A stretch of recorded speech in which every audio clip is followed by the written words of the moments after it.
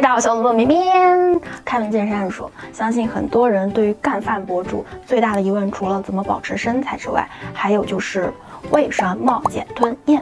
虽然这个问题我和我的同行，还有一些比较懂一点的粉丝都一遍一遍的解答过了，但是毕竟语言是苍白的，还是有很多宝宝不太理解。没有关系，正好绵绵不是二十万粉丝了嘛，我们今天就搞一期特辑，就是从视频制作的角度来说，从前期拍摄到后期剪辑，我们完整的走一遍这个流程，告诉大家绵绵每一期视频的由来。一方面呢，可以为我和我的同行自证；另外一方面呢，如果有想搞自媒体副业的宝宝，或者说单纯的想要。记录生活、拍摄 vlog 的宝宝都可以参考这一期。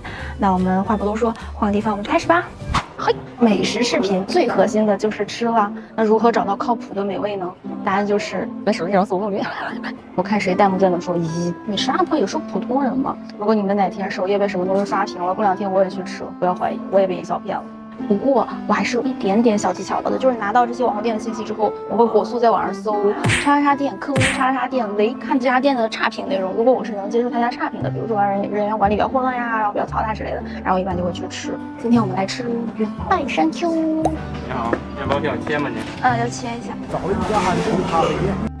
我目前的拍摄设备是索尼的 ZV-E-M2，可以看出来它真的很小巧，所以我这个五短小手都可以轻松的把它掌握。入手它之后呢，我的视频主要内容百分之九十都是由它来完成的。还是在去年十月份开始，我就在用他们家上一代的那个 ZV-E，换了相机之后，第一期就看到弹幕说终于对焦了。对焦就是我选择他家的最主要原因，尤其是打开这个产品展示功能之后，甚至不用手遮挡，对焦无比丝滑，随叫随到。还有就是 Mark Two 最吸引我的，它新升级的这个十八到五十的超广角，更大的焦段意味着什么？拍人脸更小，而且加上防抖功能之后，画面还是不会太近。平时拍 vlog 边走边拍，画面也是很舒服的。像我平时探店嘛，有时候会遇到那种特别狭窄的桌面，这种情况下如果没有一个超大的广角，那真的就会只剩下一颗大头。那就是它内置的智能麦克风，可以自动监测画面中是否有人来匹配声音方向。把相机对准食物的时候，也可以清晰的收录我在相机后甜美的声音。超级饿，超级饿，看着就超级饿。还有一点我觉得挺方便的，就是它可以在录的时候直接点击这个屏幕，拉动色温，可以把皮肤拍的特别漂亮，一键能白皮。然后这个相机还自带很多创意滤镜，给你们看一下我拍的美照。我还有一个神器，就是这个伸缩的小椅子。是像平时正常吃饭的坐高，其实是很难把人头和食物同时框在一起。带一把小椅子，然后坐低一点。或者我之前也带过那个折叠的小桌子。先把我的摊子支了起来。你看，这就是我平时拍摄视频的阵仗，说大不大，但是其实也是有点显眼的。在这种情况下，路过的蚂蚁都会看我两眼。如果我真的有任何浪费食物的行为，真的都是无处遁形的。接下来就是吃吃吃吃吃吃东西的时候呢，很多时候要反着来。比如说，呃，很多东西我们都先吃朝自己的一面，但是录视频就要把最好看的那一面朝向观众，一切以镜头优先。食物第一口是最重要的，要把最好看或者最具冲击力的画面给到第一口，吃到嘴里之后呢，要迅速品出滋味来，哎，并且进行评价。但是如果没有吃出来呢，我就再来一口。回家了，刘海都油了。然后素材拍摄完毕之后呢，就要来到我们又一个大工程，也就是剪辑了。我也在这个步骤为大家解答一下为什么要剪掉吞咽。我电脑打开剪辑软件，我这里用到是剪映。我们发现视频的时长长达。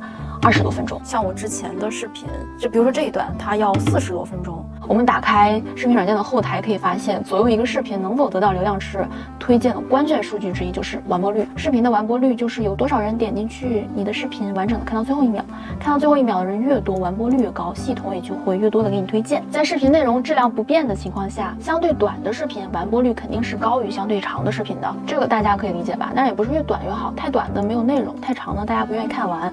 那我个人来讲，觉得比较合适的时长就是五到八分钟这个区间，那还是以内容为主啊，这个时间也不绝对。一个五到八分钟的吃饭视频如何能够不无聊呢？重点就是把握一个舒适的视频节奏，比如这样一段素材，如果我们从吃到嚼到咽再到描述，不剪辑，那就是一段非常冗长无聊的镜头。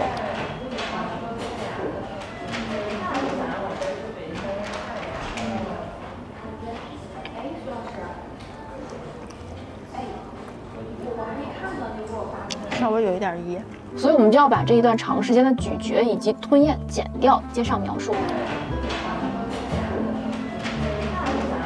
稍微有一点噎，那就有同学问，为什么不能把咀嚼剪掉，保留吞咽呢？那我们来看一下这样。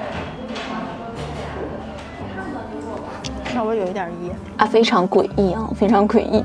剪辑呢，就像写作文儿。不同的字数限制会有不同的文体结构。像我之前看喜剧大赛，有的选手明明稿子的内容写的很棒，但是表演出来呢，就会有一种很吵闹、很累的观感。这就是没有掌握好一个忌口。一个中等长度的视频，如果全部都是干货，虽然真的很牛了，但是还是会导致观感下降，给观众一种很累了，上了一节课的感觉。那美食视频就更是如此了。大家都是来放松的嘛，不是来上课的。如果我一直都是在叨叨叨。然后呢，观众就会觉得你这个人怎么话这么多？如果一直都是吃吃吃，大家就会觉得词儿啊，说词儿啊。主打一个劳逸结合，然后就是剪一个非常精彩、吸引人的开头，像相机自带的这一些电影感的 vlog 设置，拍美食的时候可以触屏选择合适的滤镜效果，然后就更有食欲啦。